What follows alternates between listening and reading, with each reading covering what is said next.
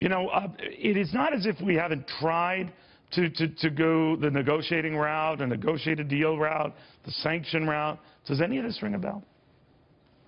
This agreement is good for the United States, good for our allies, and good for the safety of the entire world. It reduces the danger of the threat of nuclear spreading in the region. The Iran nuclear deal solves a specific problem, which is making sure that they don't possess a nuclear weapon. And it's our best way to do that. Bill Clinton talking about uh, a deal he thought was, was a done deal and a safe deal and a peaceful deal with the North Koreans, 1994. Fast forward to this president talking about a deal he thinks is a good deal, a safe deal, promising deal with the Iranians in 2015, now to 2016. Ambassador Robert Gallucci negotiated that North Korean deal. What does he make of what's going on now? Let's ask him. What do you think, Ambassador? It's good to be with you. Same here. What do you think of what's going on with North Korea? Do you think they detonated a hydrogen bomb, first off? Uh, good question. Uh, I think most of the experts who have looked at this uh, that I've, I've uh, seen writing on, on, the subject would say probably not, that a true thermonuclear weapon, multi-stage weapon, is probably beyond what the North could do. But uh, let me know when your eyes begin to water. Uh, what is much more likely is that they got what's called some thermonuclear burn. In other words, they got some fusion of light isotopes of hydrogen which produced a little bit of energy and a lot of neutrons, which caused more fission. So it was mostly, probably, mostly a fission device with what's called some boosting, which gave it a little more yield. But still, I think you've noted this, Admiral Fallon noted this, not much yield. So uh, I, I, don't think this is something to hyperventilate over. Uh, even if it were a thermonuclear weapon, and I don't think it was, uh, what we'd be talking about is uh, the potential for a design to produce a much larger bomb than can be produced with simple fission. But the key here is whether the North is deterred. In other words, is the American nuclear posture one that can deter the North from using nuclear weapons in virtually any contingency? Well, what do you think? think do you, think, do, do you that, think that our answer here is that we are not up to that task? We can't control what's going on? What? No, no, I, I, I firmly believe that our deterrent posture is a good and strong one. I think we have the strongest military on the planet, capable of projecting force with incredible lethality and precision right up to the nuclear level. And I think not only do the North Koreans understand this, but just as important, our allies in Tokyo and Seoul understand that our extended deterrent to those countries is also still viable. Well, it might be, and Ambassador, and you're the expert on this, but I just read and connect a lot of events.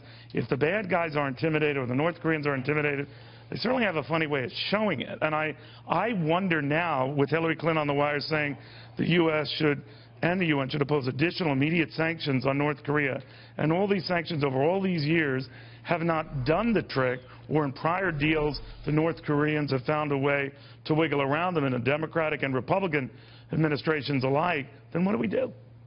Look, it's been 20 years uh, since uh, I negotiated or headed the negotiating team with North Korea on what I think was a good deal at the time.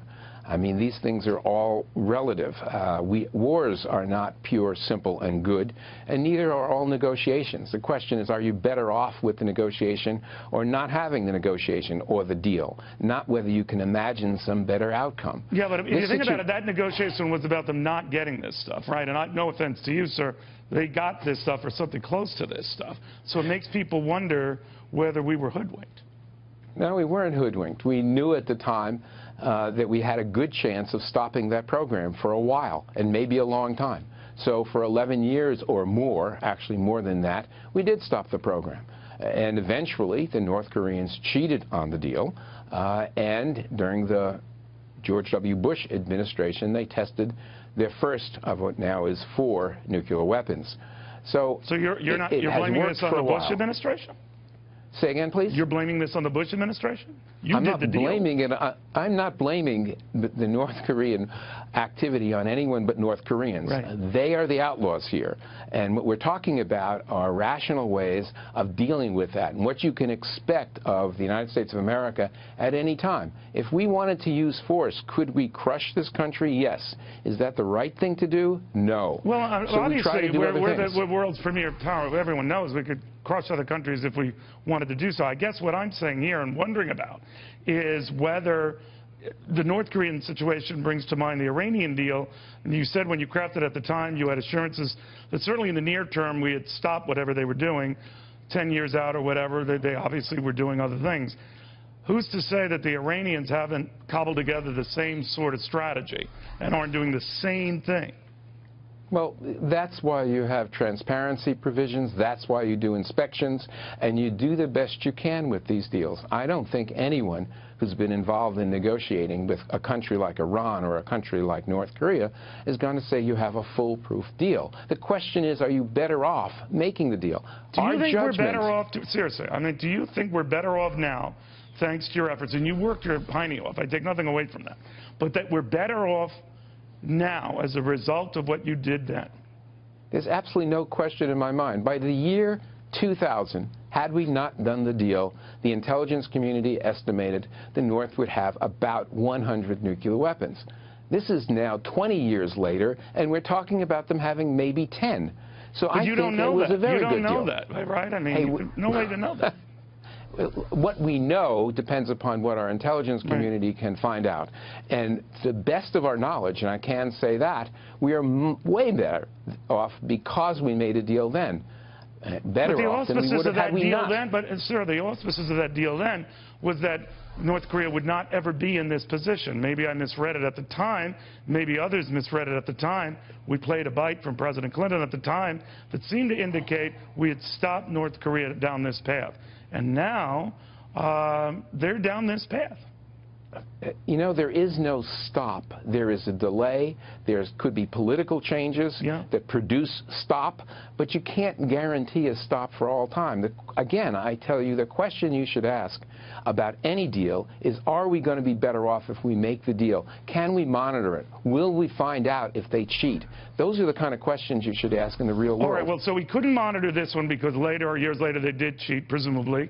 Um, with this with this Iranian deal, we're told the same thing. We can monitor them if they're cheating. I have my doubts. Assure me that um, I'm wrong. What do you think? Well, I think the answer is that we did catch them, the North Koreans, that is, when they were cheating. We caught them in the 90s. The Bush administration was, when they came into office, was aware of this, and then they ultimately went to the North Koreans uh, in a second year and said, this has got to stop.